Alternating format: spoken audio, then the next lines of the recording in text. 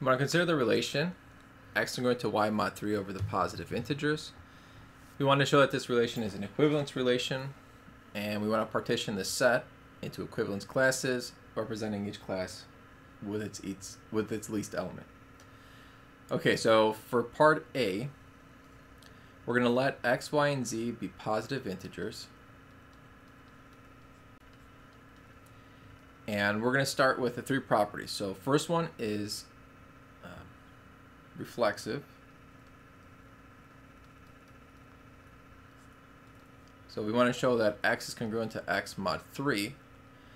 Well, if x is congruent to x mod 3, that means 3 divides x minus x, or 3 divides 0. Obviously, that's true.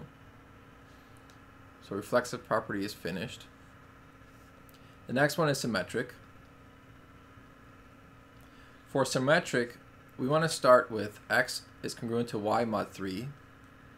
And we want to show that that's the same thing as y is congruent to x mod 3. So we'll start off with this, and you want to end with that.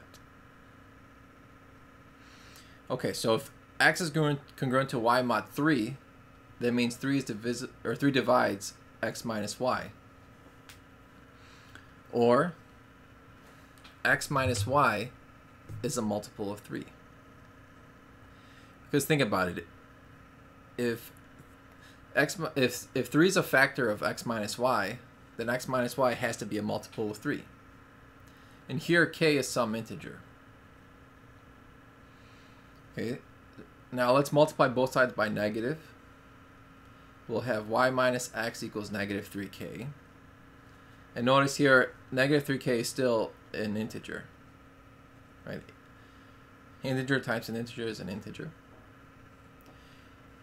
And we can rewrite this as, let's see, 3 dividing y minus x. So you can think of um, the k, the k here is negative k, right? So think of 3 times negative k will give us y minus x. So if k is an integer, negative k is also an integer.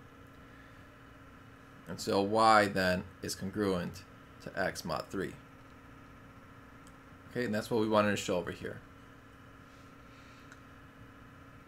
All right. All right, last property. This is a transitive.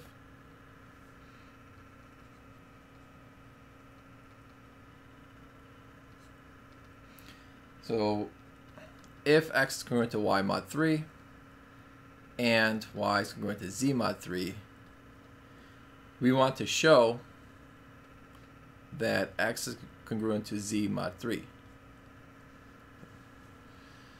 So starting with the first two here, so 1 and 2, we can say that 3 divides x minus y, and 3 divides y minus z.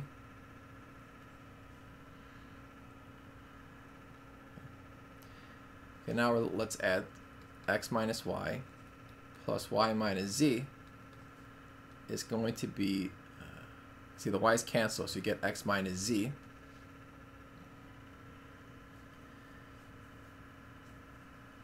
And um, actually one step, I skipped a step. So here we should have said x minus y is 3r, y minus z is 3s, where r and s here are some integers. So they're multiples of 3. Now let's add these.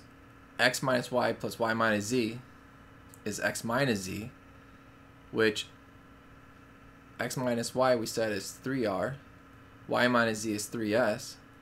That's equal to x minus z. So x minus z is a multiple of a 3. Because okay, here r plus s are integers.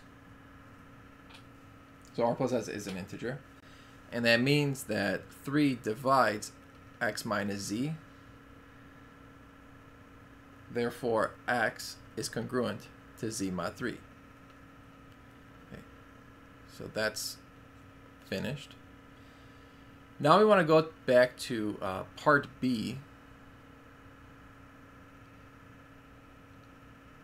So part B set to partition the set into equivalence classes and then represent each class with its least element. So here we're looking at mod 3, in other words, multiples of 3.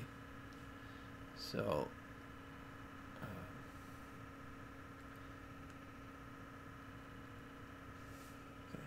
So this is part B now.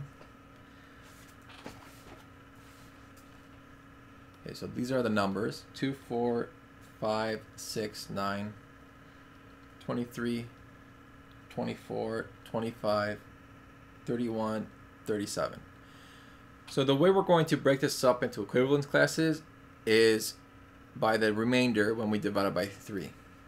So if the remainder, we'll say r is 0, r is 1, or r is 2. Okay.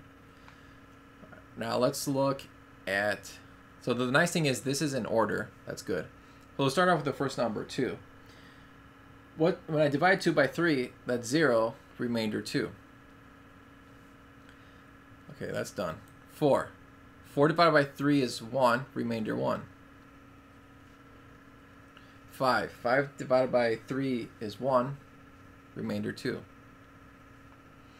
6 divided by 3 is 2, remainder 0. 9 divided by 3 is 3, remainder 0. 23 divided by 3, let's see, that's 7, remainder 2.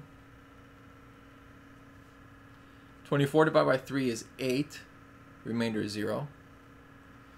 25 divided by 3 is 8, remainder 1. 31 divided by 3 is 10, remainder 1. The last one, 37 divided by 3 is 12, remainder 1. Okay, so that's everything. So this is the number 23. Let me just write it better. Okay. So now we have our equivalence classes. We want to represent them with the least element. So the smallest number happens to be the first number.